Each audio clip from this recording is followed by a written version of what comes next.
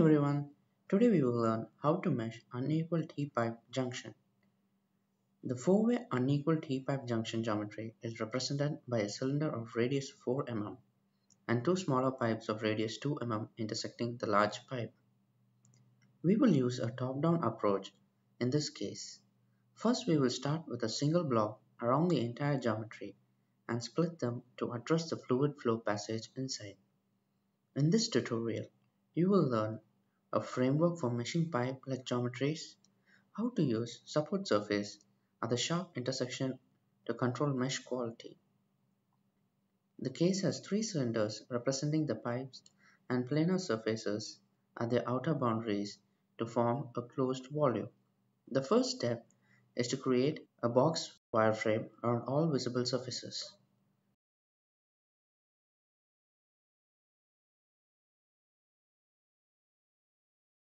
Next we split the blocks based on the geometry by viewing it on XZ plane. Ensure the blocks are placed inside the surface since it is an internal flow problem. And similarly address the smaller pipes by dropping insert closer to the pipes at XY and YZ planes.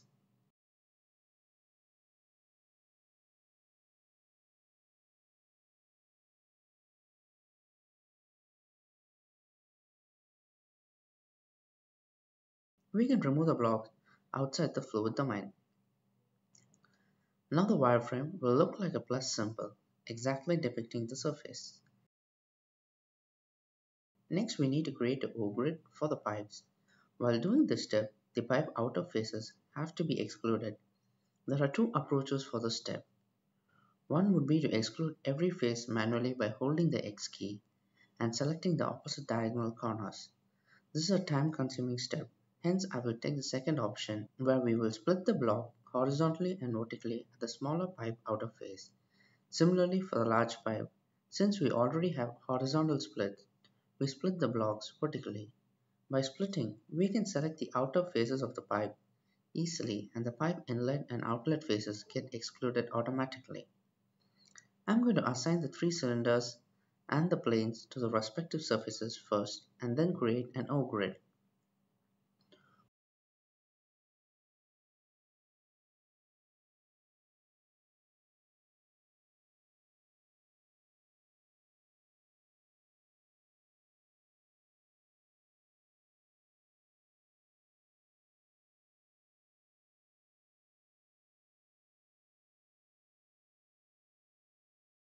Once the assignments are done, the faces assigned to the pipe body can be grouped and wrapped to create an O-grid.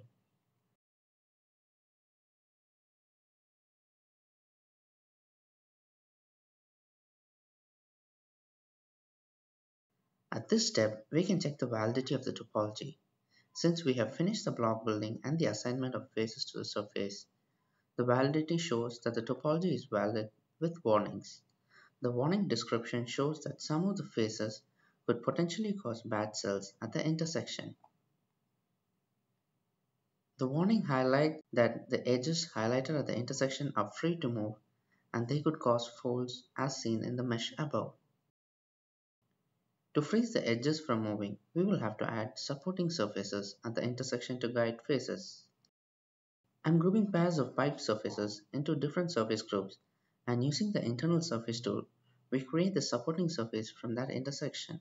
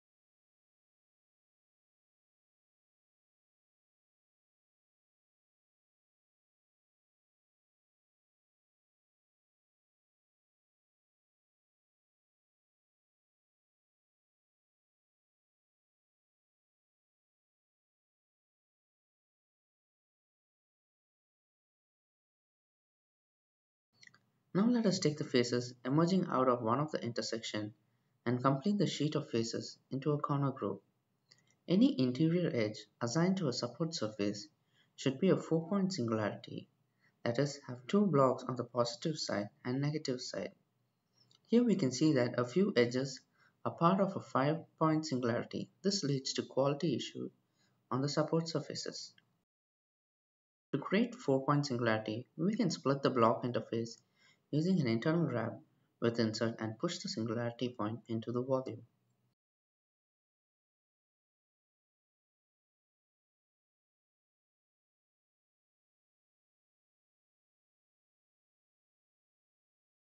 Similarly, we need to repeat the same steps at the other region of intersection.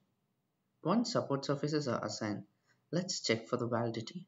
Before running the grid, the density needs to be changed based on the length of the edges.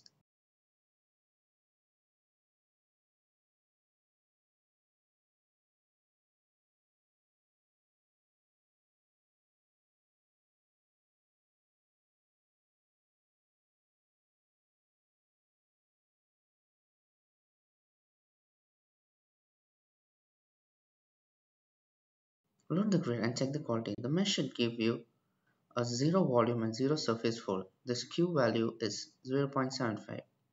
With this we come to the end of today's tutorial. If you have any questions on the steps or any comments, feel free to leave it below.